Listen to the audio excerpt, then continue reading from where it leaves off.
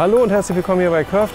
Ich bin hier auf der IFA bei Sharp zu Besuch und habe mir das Arcos D10 geschnappt. Was dieses Smartphone, das jetzt nach Deutschland kommen kann, das schauen wir uns zusammen an.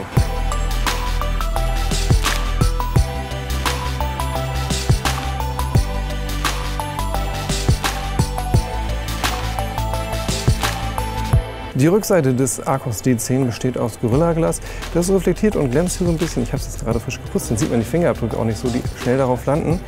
Ansonsten auf der Rückseite natürlich sofort zu erkennen der Fingerabdrucksensor und die Dual-Kamera mit einer Auflösung von 12 und 13 Megapixeln, die ähm, einen Bokeh-Effekt und einen Zoom bietet, also dass man näher ans Motiv herankommt. Hier auf der Vorderseite haben wir quasi, wie ich finde, das Highlight von dem ähm, D10 von Sharp.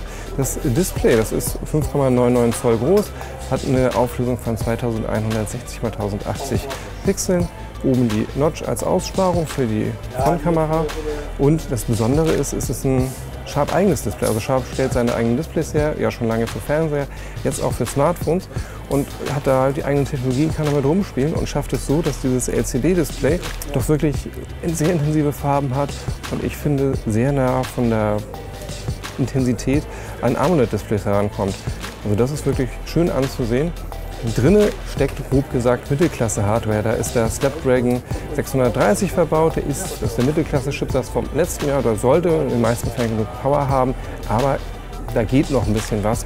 Das Sharp Arcos D10 soll ab sofort in Deutschland erhältlich sein. Die unverbindliche Preisempfehlung liegt bei 399 Euro. Und dafür bekommt ihr so, zumindest mein erster Eindruck, ein solides, ordentliches Mittelklasse-Smartphone, das vor allem mit einem echt schicken Display punkten kann.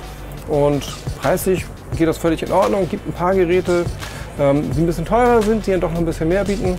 Aber hier macht man eigentlich wenig falsch. Damit könnte Sharp in Deutschland erfolgreich in den Markt starten. Wenn ihr Fragen habt hier zu dem D10, dann ab in die Kommentare damit. Und ansonsten sehen wir uns hier bald wieder bei Curve. Bis dahin, macht's gut. Tschüss.